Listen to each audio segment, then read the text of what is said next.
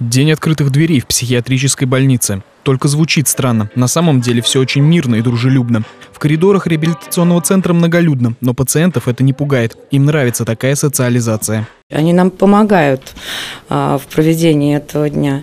И некоторые пациенты даже пришли из дома чтобы да, помочь провести нам такой день. Такие мероприятия помогают социализироваться за счет э, нас, сотрудников, да, пациентов.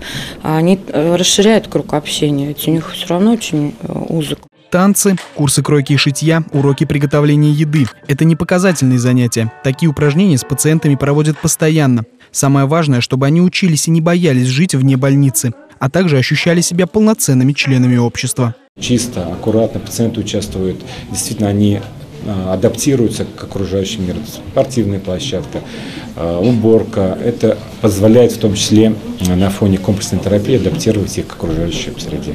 Ну а самой интересной площадкой стал спектакль театральной студии «Счастливый случай». Пациенты благодаря этому проекту выступают в разных городах, на международных театральных фестивалях, а некоторые даже выписались из стационара, потому что нашли дело своей жизни. Дело в том, что применяя на себя чужую роль, они так или иначе начинают воспринимать себя как другого человека. И это помогает им в значительной степени строить отношения с другими людьми. В Самарской области в День психического здоровья уже на протяжении нескольких лет организуются общественные форумы, круглые столы и дни открытых дверей. Главная цель – сформировать у населения эмоциональное принятие людей с проблемами психического здоровья. Андрей Грагуленко, Максим Гусев. События.